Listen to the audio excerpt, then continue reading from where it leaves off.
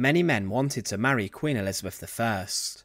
The Virgin Queen had many different suitors, and a number of them were obsessed with gaining power and wealth because of a possible marriage to the Queen. But Elizabeth died as the last Tudor monarch, as she never had a husband and an heir, and many believed that she was close to Robert Dudley, with the Earl of Leicester being her ultimate favourite. But there was one man who captured the Queen's eye, despite an age difference, and she deemed Robert Devereux, the Earl of Essex, as a very handsome and dashing young man. However, he would fly too close to the sun and incite a rebellion in London, which resulted in his brutal execution. Join us today as we look at the execution of Robert Devereux, and remember to support our channel. Please make sure to subscribe. Born in November 1565, Robert Devereux belonged to a noble family. His great grandmother was the sister of Anne Boleyn, Mary Boleyn, and because of this he was a cousin of Elizabeth I. He was given a good upbringing, and he attended Cambridge University.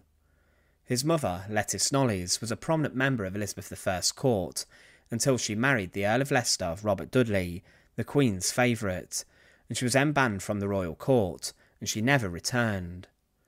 But Robert had a career in the military, and he was taken under his wing by his stepfather, the Earl of Leicester, and he went with him to the Netherlands, before he too came to court in 1584. He quickly became one of Elizabeth I's favourites, and he demonstrated his immense wit and intelligence, and was seen as a thriving young man. But within a few weeks of his arrival at court, the Queen was besotted with Devereux, and in the evening the pair would long sing into the night and play cards, and it was said he would not go to his own lodging until the birds sing in the morning.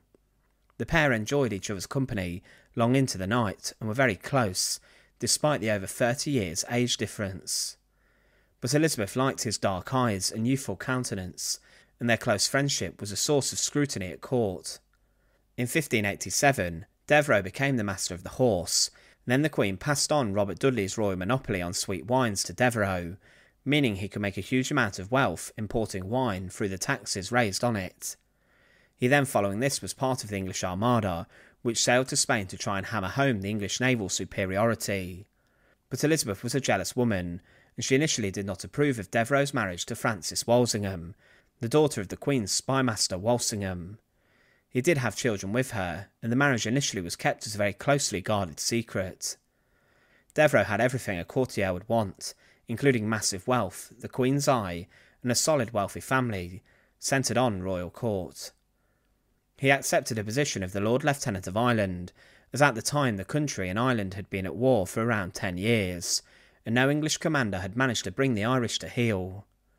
Devereux led the largest invasion force sent to the country, around 16,000 soldiers, and he tried to end the rebellions, but this did not work. He told the Privy Council that he would go face to face with the rebel leader, Hugh O'Neill, the Earl of Tyrone. He travelled with his army south and fought a number of small skirmishes, but he could not establish control and spent large amounts of money. His failure to defeat the Irish caused him great shame in the Queen's eyes, especially as he made concessions to the rebels, and he then swore a truce with them. He tried to come back to England, but Elizabeth barred his return to court. However, Devereux would not have any of this. He arrived at Nonsuch Palace and then burst dramatically into the Queen's bedchamber, when she was not properly dressed, and the Queen was outraged by this. His antics in Ireland were seen as desertion and treason, and he was then held inside York House under arrest, but many people did support him. He was a controversial figure, and a commission of 18 nobles tried him and confronted him with charges that led to further house arrest. He was not allowed any visitors and friends to see him, but he was deemed as a traitor in the eyes of the Queen, and as time went on, Essex House, where he was now being kept, became a place of outspoken dissent against the government and the monarchy. Many people would give Devereux their support, and this resulted in a rebellion. On the 3rd of February 1601, a meeting took place at Drury House, in the presence of the Earl of Southampton. Devereux was not there, but the rebels spoke about seizing control of the royal court, the Tower of London, and the City of London in a rebellion against the Tudor Queen. The revolt, which became known as Essex Rebellion, decided to try and storm the city, and to then take control of the City of London, and they would burn down houses and also murder a number of Londoners. The key to the rebellion was to send a clear message to the government that they were not happy. Devereux was involved in the planning of this, and on the 8th of February 1601 he rode out of Essex House with the rebels. They were joined by many gentlemen and nobles, and they forced their way into the city of London. They tried to get a meeting with the Queen, but this was not possible. Devereux then seized four of the Queen's messengers and held them hostage, and they even tried to get the Lord Mayor, who was reading a sermon at St Paul's Cathedral.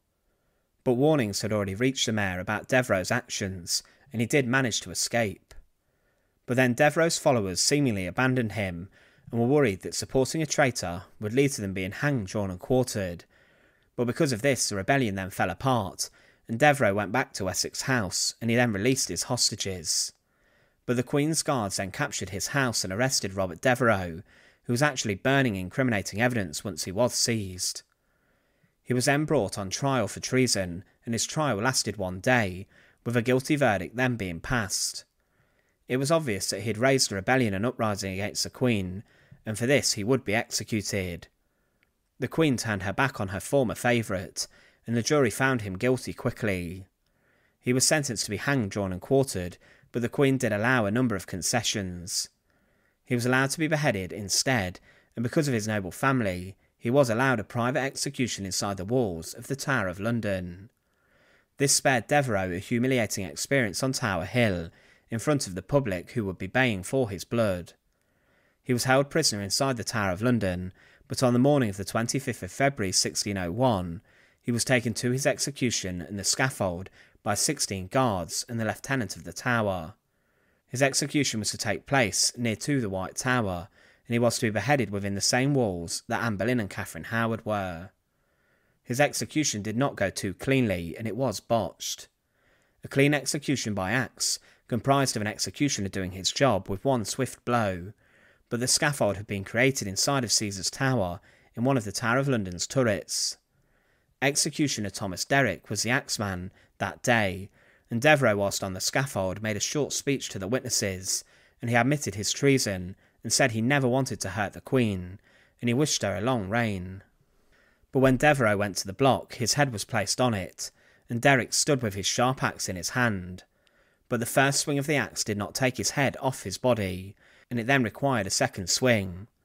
This did a better job, but his head still not could be separated, and because of this, it took the final third swing to take his head from his body. Robert Devereux was a slimy member of Elizabeth I's court, who would do anything to try and further himself in the eyes of the Queen.